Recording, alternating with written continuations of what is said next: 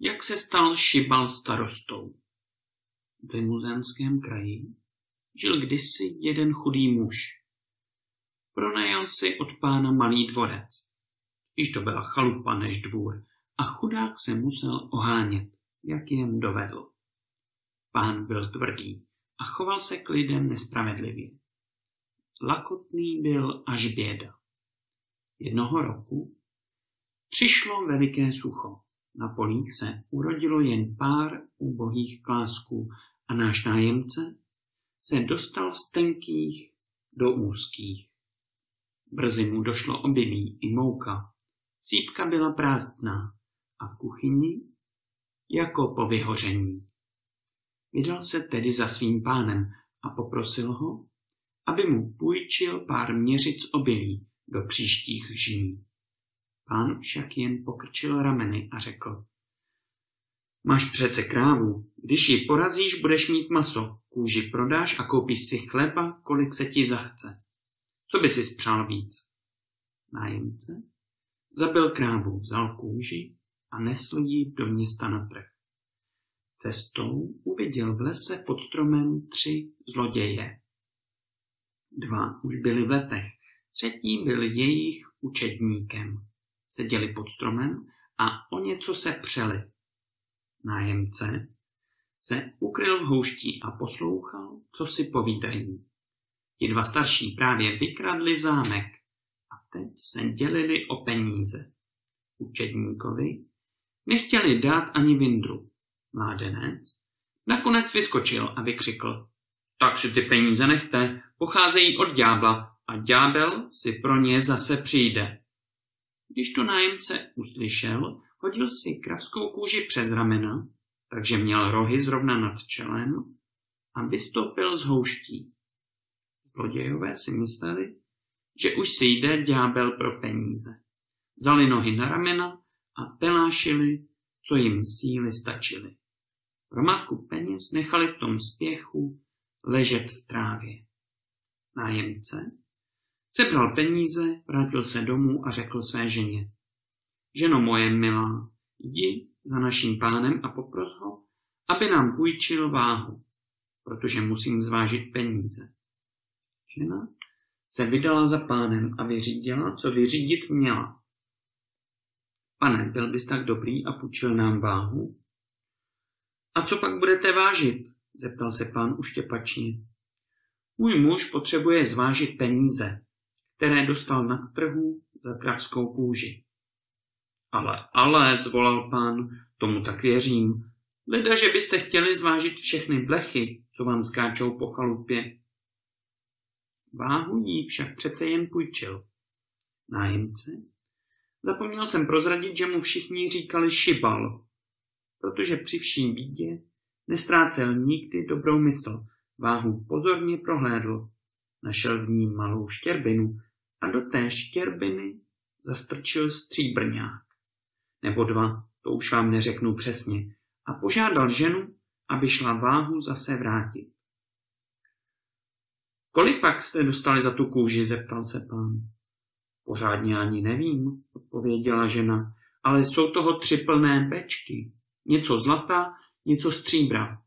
Pán prohlédl váhu a našel stříbrňák. Hned se vydal za naším šibalem a zdvořile se ho zeptal. Vidím, že kravské kůže poslední dobou podražily. Já mám osm krav. Když je dám všechny porazit, dostanu jen za jejich kůže spoustu peněz. Šibal se poškrábal za uchem a řekl mírně. A co když nenajdeš toho správného kupce, kterému jsem prodával já? Našel si ho ty, řekl pán, tím spíš ho najdu já. Vrátil se domů, dal porazit všechny své krávy a odvezl kůže do města.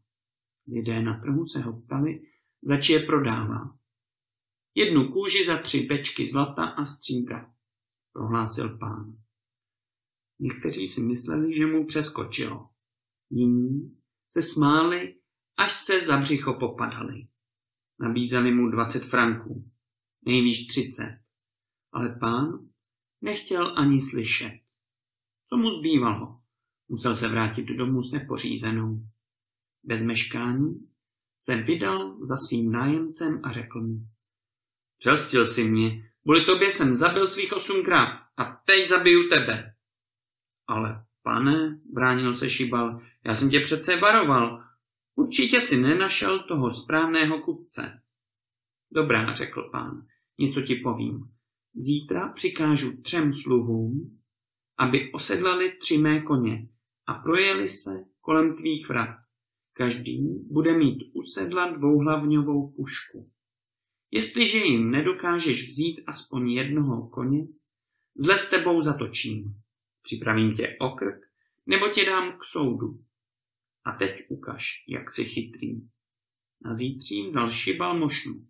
Do mošny dal pár kousků chleba a hrst tabáku.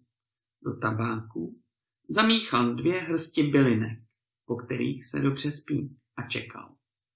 Když se na cestě objevili tři jezdci, slušně je pozdravil a zeptal se, co tam pohledávají s puškami u sedla.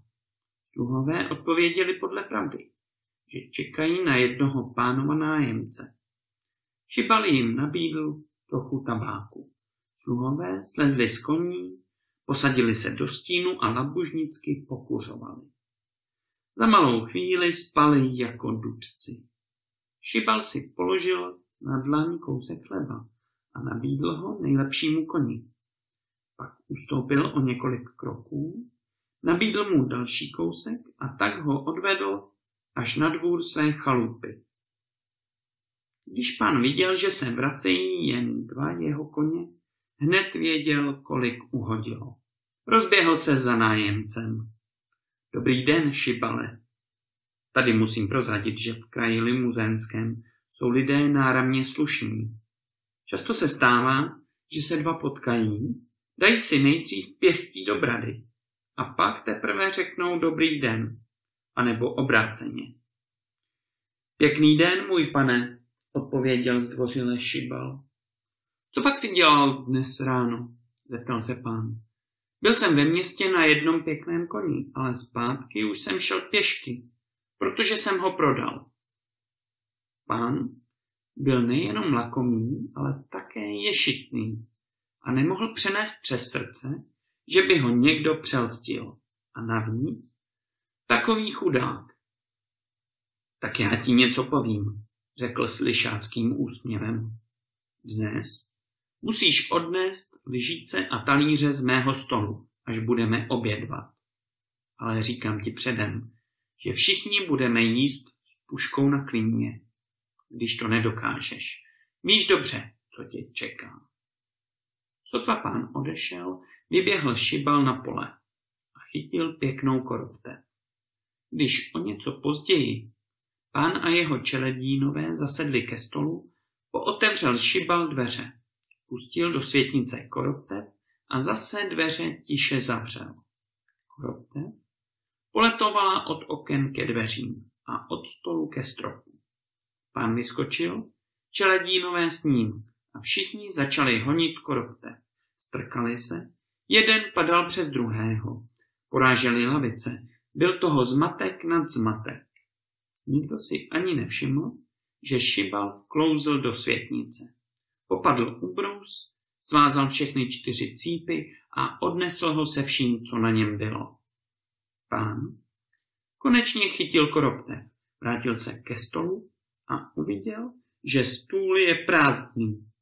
Zavolal služku a ptal se jí, proč už všechno sklidila. Ale služka se zapřísahala, že nevyšla z kuchyně ani na krok. Na zítří se vydal pán za svým nájemcem. Dobrý den, šibale. Pěkný dobrý den, pane. Co pak si dělal dnes ráno? Co bych dělal, odpověděl šibal s nevinnou tváří. Snídal jsem. Snědl jsem všechno, co jsem si včera od tebe přinesl. Dobrá, řekl pán, ale tentokrát mě nepřelstíš. Dnes dám do pece tři hrnce zaječí paštiky a tři sluhové je budou hlídat s puškou v ruce. Buď si tu paštiku odneseš, nebo víš, co tě čeká. Šibal počkal, až se pořádně setmí.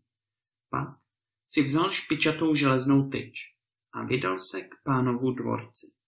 Zvenčí opatrně udělal do zdi díru, vytáhl hrnce s paštikou a pokojně se vrátil domů. Sotva se pán ráno probudil, běžel za snuhy, otevřel dvířka do pece a ustrnul. Paštiky byly pryč, za to ve zdi se šklebila pořádná díra. Honem se rozběhl za šibalem. Dobrý den, šibale. Pěkný dobrý den, můj pane, odpověděl zdvořile šibal. Co pak si dělal dnes ráno? zeptal se pán přísně a hlas se mu třásl vstekem. Co bych dělal? odpověděl šibal. Snídal jsem a musím ti prozradit, že mi ty tvoje paštiky náramně chutnaly. Pán chvíli mlčel, potom řekl. Tentokrát to bude horší.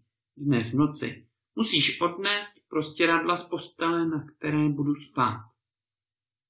Pro jistotu budu mít po ruce nabitou pušku.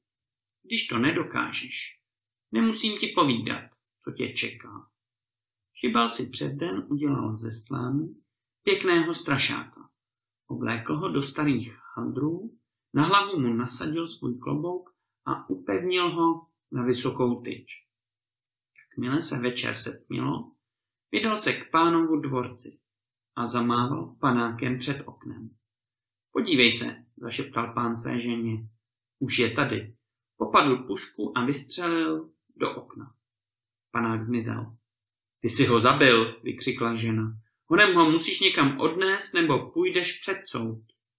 Pán vyběhl ze dveří a našel pod oknem slaměného panáka. Chvíli si ho prohlížel a láteřil, až se hory zelenaly. Šibal zatím vklouzl do ložnice a zvolal změněným hlasem. Ženo, já jsem ho opravdu zastřelil. Honem mi dej moje prostěradlo, ať ho do něj zabalím a odnesu. Žena stáhla prostěradlo. Šibal ho popadl a už byl pryč. V tu chvíli stoupil pán a řekl rozmrzele. Představ si, že ten uličník nastrčil za okno slaměného panáka. A kde pak je moje prostěradlo? Přece si ho právě odnesl. To jsem nebyl já, ty hůso hloupá, vykřikl pán vztekle. To byl ten rošťák. Vůbec jsem ho nezastřelil. Trefil jsem jen slaměného panáka. Ale já ho zítra dostanu. Jen ať se těší. Na zítří se vydal znovu za svým nájemcem. Dobrý den, Čibale. Pěkný dobrý den, můj pane. Co pak si dělal dnes ráno? Dnes jsem trochu zaspal. Na tvém prostěradle se mi spalo jako v bavlnce. Ty si teď myslíš, řekl pán, že si kdo ví jak chytrý, ale na mne si nepřijdeš, to mi věř. Jak víš, náš pan starosta je můj bratr. Půjdeš dnes za ním a odneseš mu všechno zlato a všechny peníze, co má doma truhle. Jenom ti prozradím, že si je dobře hlídá. Když to neuděláš, víš dobře, co tě čeká. Šibal si koupil kozu a večer se vydal do vsi. Zamířil ke zvonici a čekal, až hvězdy ukážou půlnoc. Pak přivázal koze na každý roh svíčku. Svíčky zapálil a začal zvonit. Za malou chvíli přiběhl vylekaný starosta. Co pak se děje? Někde hoří? Uviděl kozu s planoucími svíčkami a rozklepal se strachem. Jdeš si pro mě?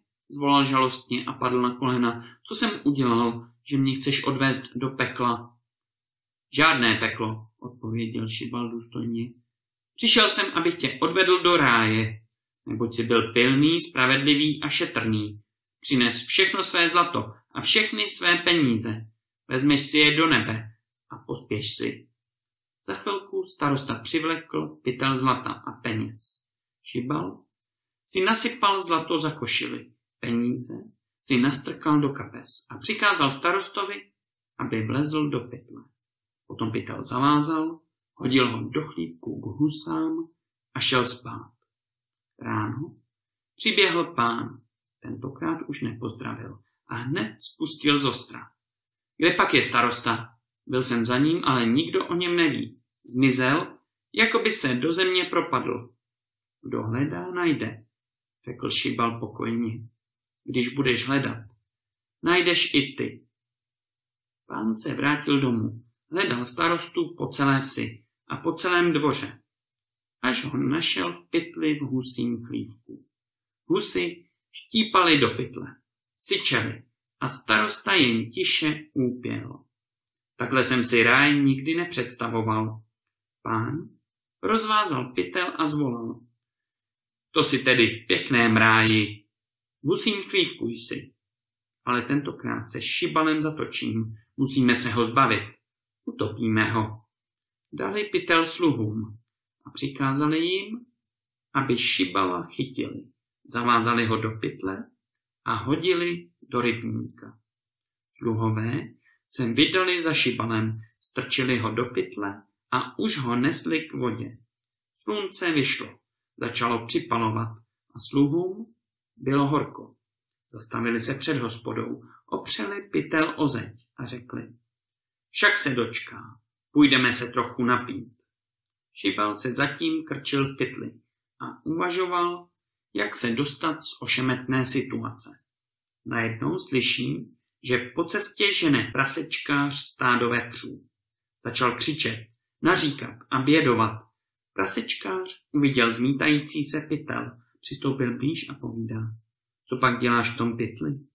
Já nechci, křičel Šibal. Já ji nechci za nic na světě. Koho nechceš? zeptal se prasečkář. A kdo tě strčil do toho pytle? Pomoz mi, člověče dobrý, řekl dál Šibal.